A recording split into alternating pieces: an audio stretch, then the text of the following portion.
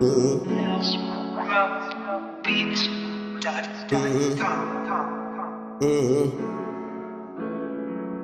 know you tired of seeing another nigga locked life, But it ain't my fault, little bitch, they stay calling the cops, And I know you say you down the ride and that you keep it real. But girl, you know that it's something